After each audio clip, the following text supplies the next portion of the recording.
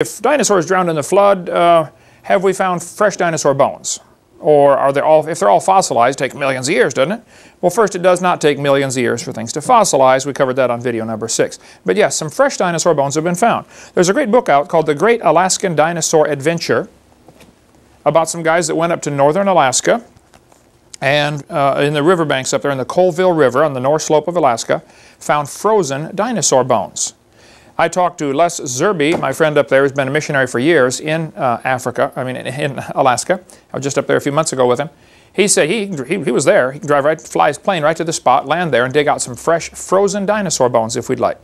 But yes, they have been found. In uh, Journal Science magazine in December of 93, they said, uh, reported an amazing preservation of the bones of a young duck-billed dinosaur found in Montana. Under a microscope, the fine structure of the bones was seen to have been preserved to such an extent that cell characteristics could be compared to cells of chicken bone.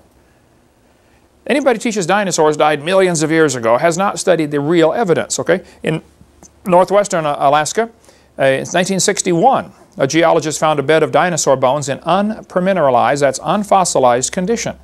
This is possibly the same bed that Les Zerby goes to. He offered to take me last time I was there, but the weather wouldn't permit it.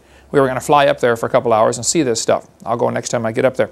In Prudhoe Bay, Alaska, which is way on the north slope uh, near uh, Barrow, Alaska, they found frozen dinosaur bones. They're as light as balsa wood and look as fresh as yesterday's dog bones. The structure was porous and the fossils were not mineralized, not fossilized. A Canadian uh, Indian, Eskimo, in 1987 on Bylot Island up in northern Canada, found part of a lower jaw of a duck-billed dinosaur. It was in fresh condition. Joe Taylor, our friend from uh, Crosbyton, Texas, has a website, mountblanco.com. He has dug up dinosaur bones before that are not fossilized. He's dug up dinosaurs all over the world.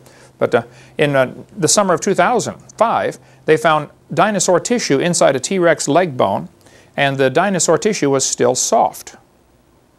Now, the scientists are trying to figure out, like John Horner from Montana is trying to figure out how could fossils, how could they stay soft for 70 million years? The thought will never cross his mind that maybe they're not 70 million years old. Okay, he's already committed to that. And to say maybe they're only 6,000 years old or 4,400 years old from the flood would absolutely be anathema to them. They'll never consider that. So now they're going to probably, probably get a government grant and try to figure out how could they stay soft for 70 million years. They're totally asking the wrong question. The question is when they formed, not how they formed. Here's a picture from a magazine showing they found a fossilized dinosaur, still had what they thought, and I, I believe was con confirmed, was the heart, soft tissue, fossilized in a dinosaur. Up in Alaska, they frequently find dinosaurs. Well, Alaska's cold. Reptiles don't do well in cold weather. But dinosaurs in Alaska? Not many, but a few have been found. And yes, it's true, some have been found that are not fossilized. You can uh, do more research on that on your own, and we'll cover more on our college class uh, when we get to that.